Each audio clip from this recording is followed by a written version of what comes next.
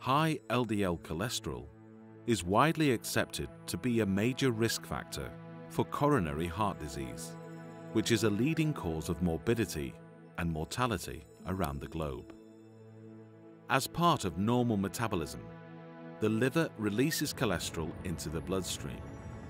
A member of the lipids family and an essential molecular building block in the human body, cholesterol circulates around the bloodstream, attached to proteins forming complexes known as low-density lipoprotein cholesterol, or LDL.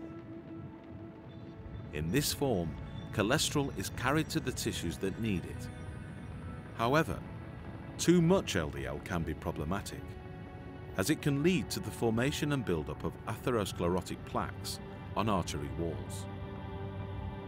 This can cause problems such as obstructions and ultimately myocardial infarction. Cholesterol present in the gut is contained within bile from the liver and from food sources in the diet. In order to be absorbed from the gut into the bloodstream, cholesterol mixes with bile salts, fatty acids, lecithin and triglycerides to form tiny water-soluble packets called dietary mixed micelles. The micelles then make contact with the intestinal cell wall, where their contents are taken up into the cell. Once inside the cell, the micelle contents are repackaged into spherical particles called chylomicrons. The chylomicrons then carry their fatty contents into the bloodstream, where they are delivered to their target tissues, including the liver.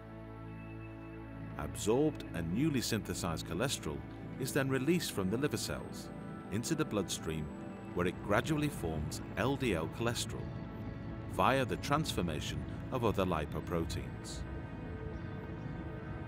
However, there is an ingredient called plant sterols which interferes with the absorption of cholesterol from the gut and significantly reduces the amount of cholesterol that reaches the bloodstream.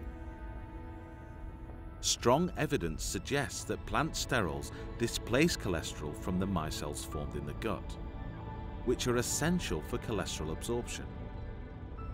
As a result, less cholesterol is contained within the micelles and cholesterol absorption into the bloodstream is reduced by as much as 30 to 40%. The cholesterol that is not incorporated into micelles is subsequently excreted from the body along with plant sterols, which are pumped back into the gut lumen.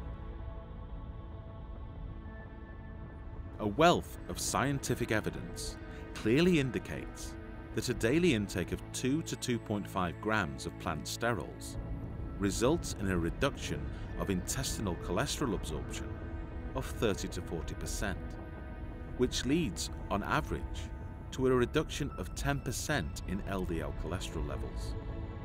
This 10% reduction is important because evidence suggests it can cut the risk of coronary heart disease by as much as 20%.